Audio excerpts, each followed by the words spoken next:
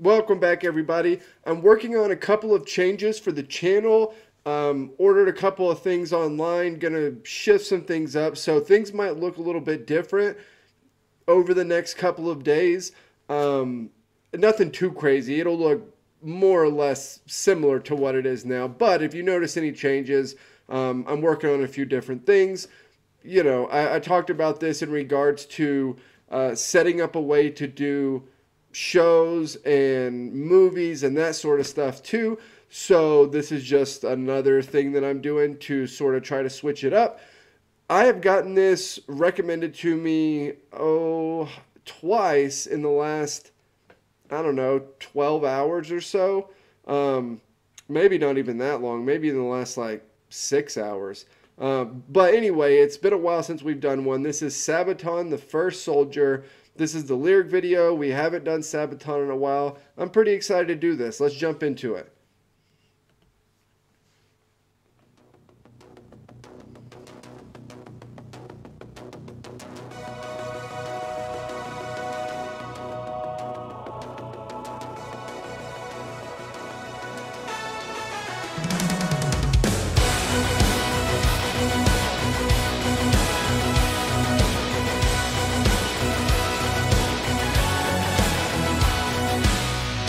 They're really good at making their songs sound so epic. I've, I know I've said this a million times, but they sound like movie soundtracks. Like the the crescendo or the very top, the climax of the movie. I feel like a lot of their songs have that that sort of feel to them.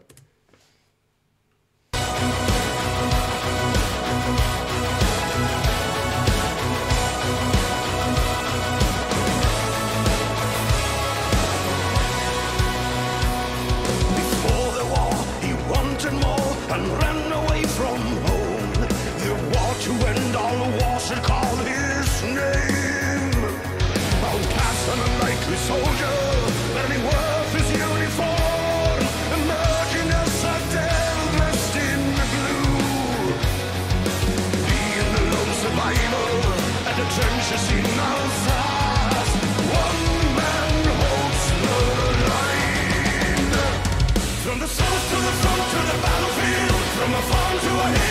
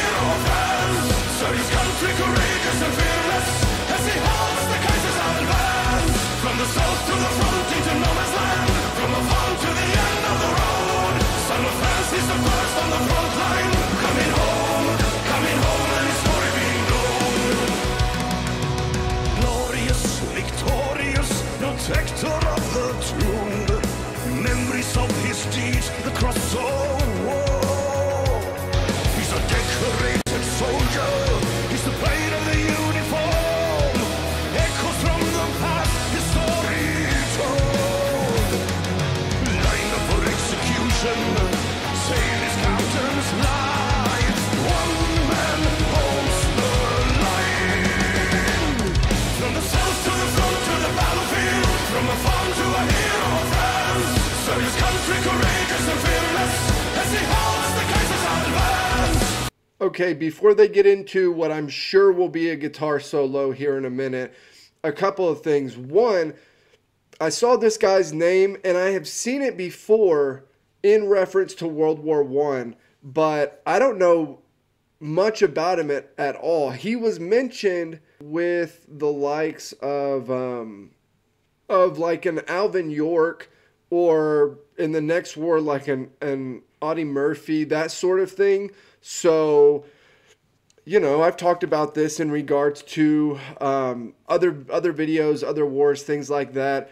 There are some soldiers and some people in general who they thrive in these situations when the the most pressure is on and there are you know soldiers on both sides who are literally having their psyches broken there are are some that just step up and do really really well.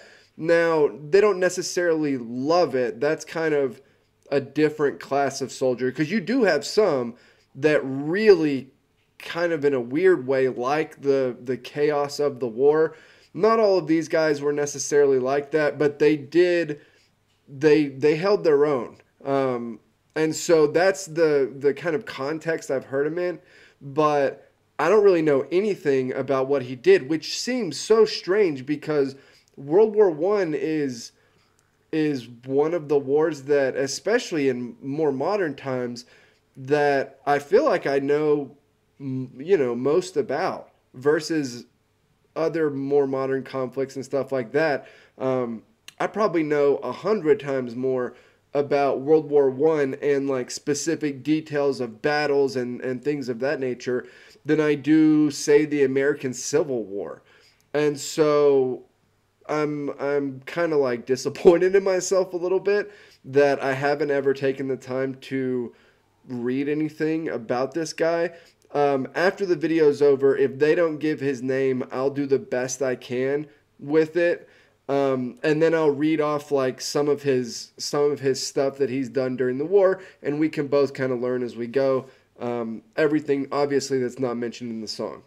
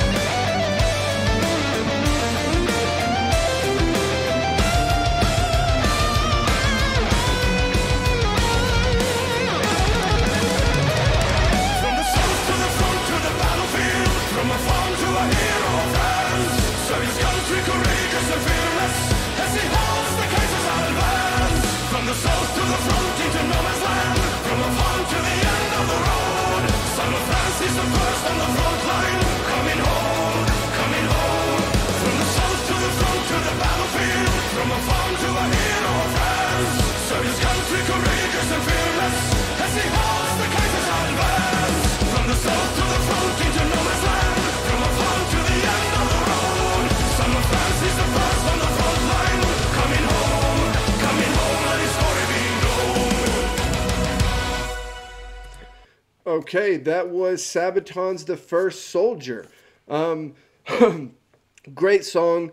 I was hoping they would sneak a guitar solo in there somewhere. That's kind of a staple of, of their music. This guy's name is um, Albert Severin Roche Roche. Um, I'm the I'm not, I'm not great with the the French. Um, so this is this is what he did in World War One. Okay, I'm just reading down here. Um, he destroyed a a German blockhouse uh, where he threw grenades in through a chimney. He was a lone survivor in a trench in Alsace, and he was jumping around using different weapons from obviously fallen soldiers around him to make it look as if there was still a lot of people that were holding down the trench. And it actually it actually worked. It eventually you know shut down the advance. Um, he uh, he was captured with a wounded lieutenant. Um, he killed his interrogator stole his pistol and returned to the french lines. Um, with 42, 42 new prisoners. Obviously, he he escaped. He had the weapon. He took prisoners, got the wounded lieutenant, and then made it back to the French lines. Um, there's honestly, I could read for like 20 minutes, so I'll stop there and wait for the Sabaton history for it because they'll they'll do it way better than I could do it. But um, holding down a trench. That that one's the craziest of of those to me. Like, have, have you ever seen the movie The Patriot? It's a a really bad example or or encapsulation of the American Revolution. It's a movie with Mel Gibson in it. He does this thing in the woods where he has guns lined up around trees and he's ambushing this British column that's coming through. And so he has all of these these uh, guns loaded. And so he'll shoot one, then run to the next and, and shoot it, run to the next, shoot it. And so they're trying to figure out where the shooting is coming from when you watch it, you're like, yeah, that could only be done, you know, in in Hollywood.